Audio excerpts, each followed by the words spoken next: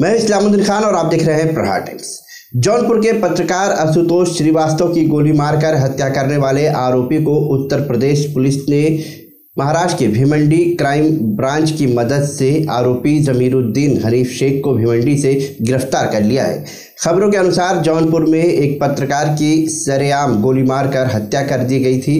ये घटना शाहगंज कोतवाली के अंतर्गत इमरान गंज बाज़ार में हुई थी, जहाँ एक न्यूज़ चैनल में काम करने वाले पत्रकार आशुतोष श्रीवास्तव की गोली मारकर हत्या कर दी गई थी। पत्रकार आशुतोष श्रीवास्तव जौनपुर के ही सबहरहत गाँव के रहने वाले थे। वो ज़्यादातर इलाके में गौ तस्करी और माफियाओं के खिलाफ खबरें लिखते थे, जिसको लेकर माफियाओं में काफ़ी नाराज़गी थी। और आखिरकार ज़मीरुद्दीन हरीफ शेख को भिमंडी से गिरफ़्तार कर लिया गया है हत्या के मामले में।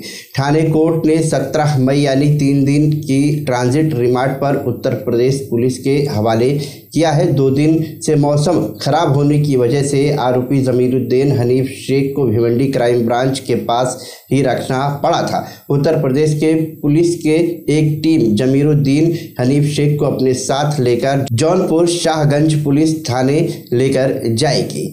पुलिस की जाँच में आरोपी ने बताया है कि ज़मीन के व्यवहार को लेकर जमीरुद्दीन हनीफ शेख ने पत्रकार आशुतोष श्रीवास्तव की गोली मारकर हत्या की है। फ़िलहाल, आरोपी जमीरुद्दीन हनीफ शेख को अब मुंबई से जौनपुर ले जाया जाएगा।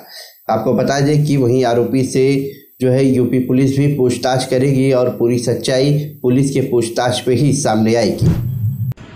कल दिनांक तेरह पाँच दो हज़ार चौबीस को थाना शाहगंज अंतर्गत इमरानगंज बाज़ार में समय करीब साढ़े नौ बजे प्रातः श्री आशुतोष श्रीवास्तव को दो अज्ञात बाइक सवार बदमाशों द्वारा गोली मारी गई थी, जिन्हें तत्काल इलाज हेतु प्राथमिक स्वास्थ्य केंद्र शाहगंज ले जाया गया, लेकिन रास्ते में ही उनकी मृत्यु हो गई थी।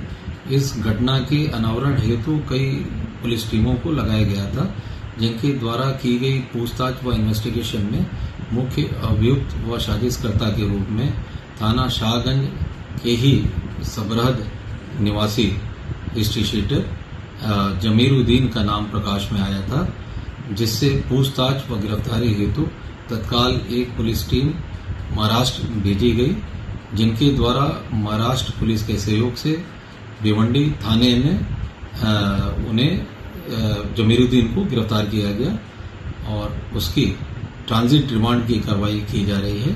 शीघ्र ही जौनपुर में लाकर माननीय न्यायालय के समक्ष पेश कर उसका न्यायिक रिमांड प्राप्त किया जाएगा। Thank you.